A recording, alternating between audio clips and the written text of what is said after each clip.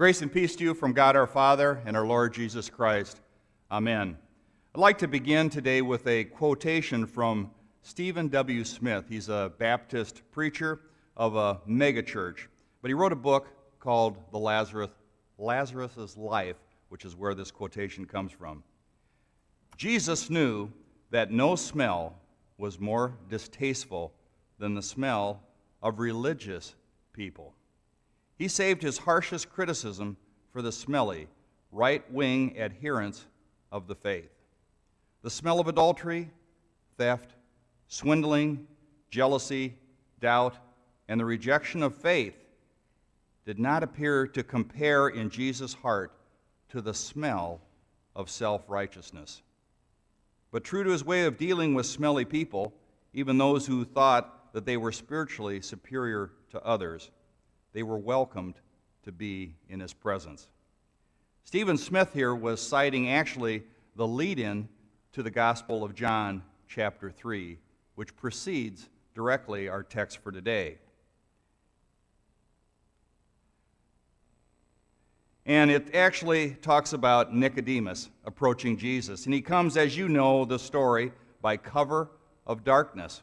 What's intriguing is that he begins his approach to Jesus with a compliment, saying, Rabbi, we know that you're a teacher that comes from God, for no one could possibly do these signs that you do unless God is with him.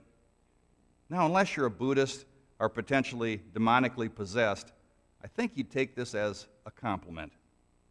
But how does Jesus respond?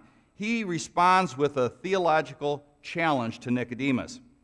Truly, truly, I say to you, unless one is born again, he cannot see the kingdom of God. Well, Nicodemus is scratching his head and thrown for a bit of a loss here, so he comes back. How can a man be born when he's already old? And Jesus says, Truly, truly, I say to you, unless one is born of water and the Spirit, he cannot enter the kingdom of God. That which is born of flesh is flesh, that which is born of spirit is spirit. Don't marvel, Nicodemus, that I say this to you. You must be born again. The wind blows where it wishes, and you hear the sound, but you don't know where it comes from or where it goes. So it is with everyone who is born of the Spirit. Nicodemus, now contemplating how can he again go into his mother's womb and be born again, is thrown for a bit of a loop. And he says, How can these things be?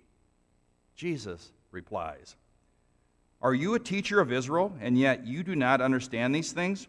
Truly, truly, I say to you, we speak of what we know and bear witness to what we've seen, but you do not receive our testimony. If I've told you earthly things and you don't believe, how can I tell you heavenly things and have you understand? No one has ascended into heaven except he who descended from heaven, the Son of Man. So we say, What, Jesus? Nicodemus started out flattering you with a comment question, and you come back hammering him with a set of head scratchers followed by a put down. So much for a modern teaching axiom there's no such thing as a stupid question. Sort of throw that out, didn't he? So, 2 Corinthians, however, 5 7 gives us insight into really the perspective of Jesus. As Paul says, we walk by faith not by sight. Nicodemus was possibly tainted just a little bit with the self righteousness of his position. He was the head, you see, of the, or he was a member of the 70 member Sanhedrin. It was the Supreme Court of the time. It was the ruling body that basically governed everything relative to proper management of the temple law to following Moses' Old Testament law called the Torah.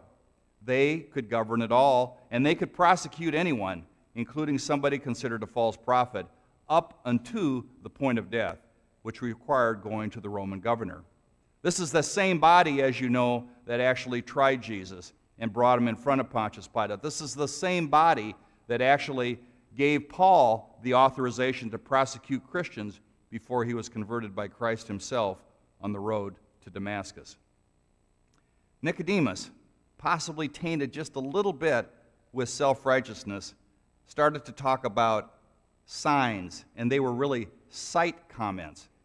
They were comments that said, Nothing's wrong on the surface by what I see, but Jesus wants to move him deeper.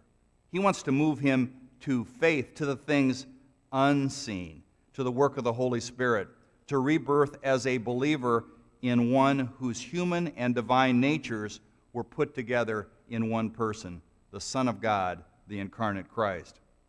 Now, Jesus, however, starts bringing clarity to the message by breaking things down for Nick at night. And he starts by referring Nicodemus to the Old Testament, to Numbers 21. And this is a picture right here of, on the left, is the cross, and it's a monument on Mount Nebo in Jordan. And this isn't exactly where Moses raised up the serpent in the wilderness, the brass serpent, so that those looking at it could be saved, but it's where God took Moses to look out on Mount Nebo over into the promised land to see where the children of Israel were to be led. It's a foreshadowing of Christ's own execution as he was lifted up on the cross. And as John says, just as Moses lifted up the servant in the wilderness, so must the Son of Man be lifted up, that whoever believes in him, the crucified one, may have eternal life. Quoting Jesus our Lord. This slide recalls that bronze serpent, and then this slide is Michelangelo's representation of it in the Sistine Chapel. It's a beautiful depiction, but you can see those that did that refused maybe or ignored the promise to look toward that brass serpent and be saved did indeed perish, but they had a choice. And those that looked toward it, that looked toward it, not just at it, and saw by faith that they would be saved, but also saw by sight that others were getting saved, believed. And they had temporal life.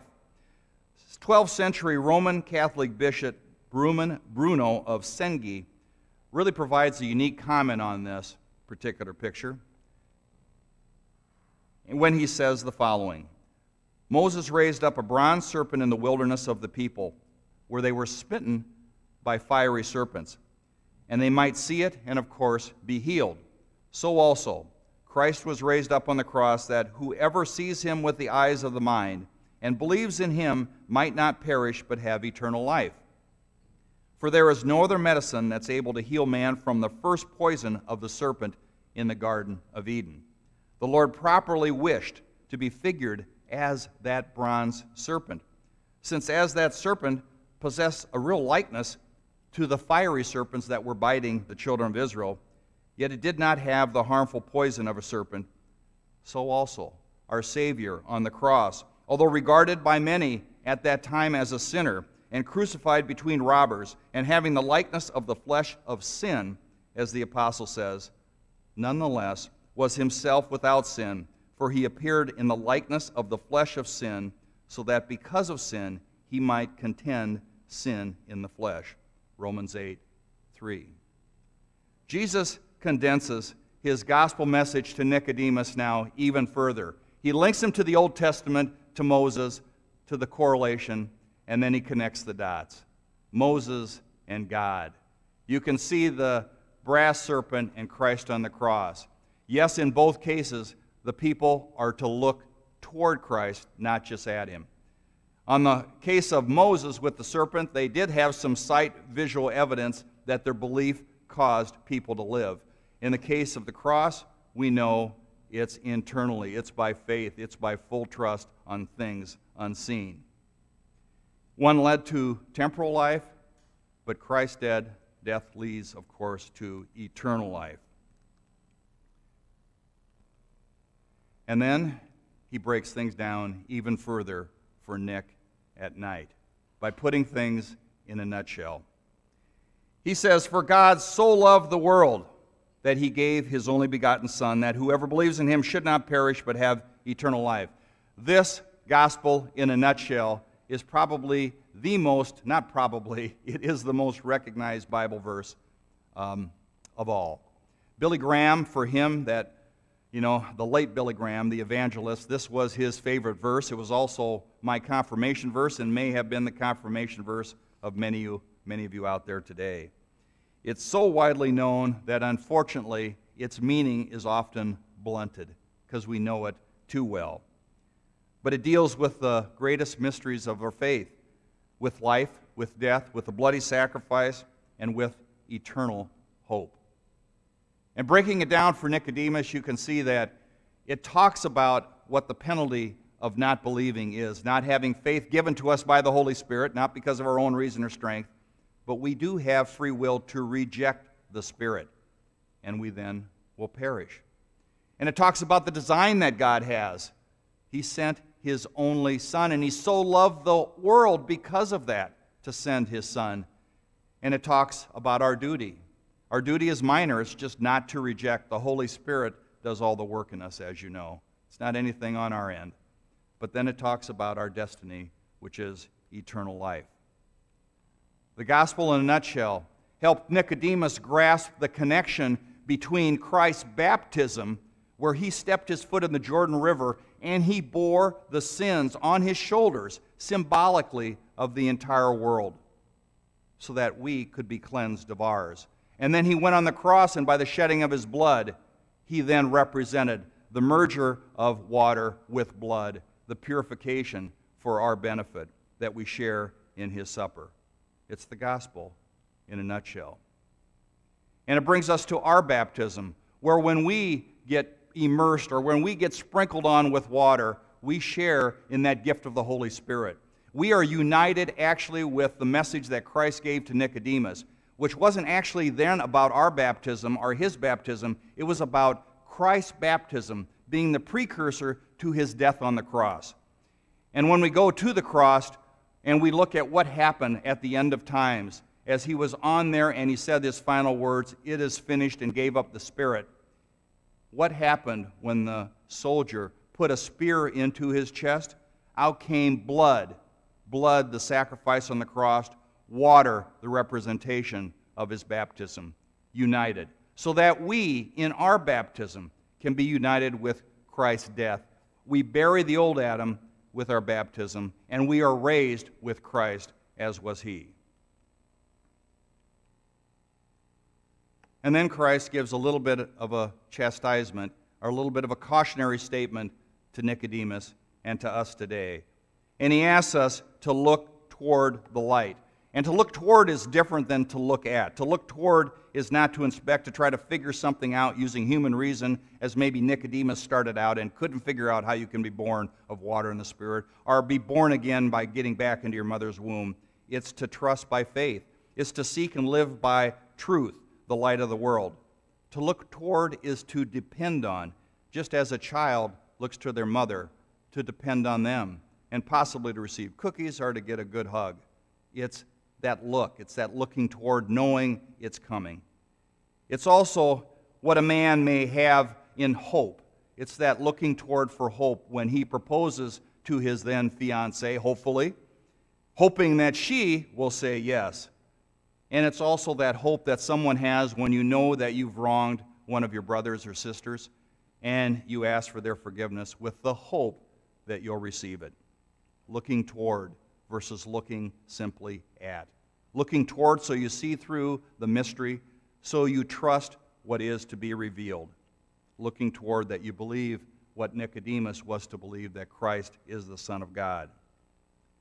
Now, as baptized Christians, we are asked to take this gospel in a nutshell, to absorb it this Lenten season, to help us look toward Christ as the focal point of our lives, our everyday lives, not just on Sunday, but from Monday through Saturday. And share that gospel with others as a family of Christ. And to share Christ words, those red words in the Bible.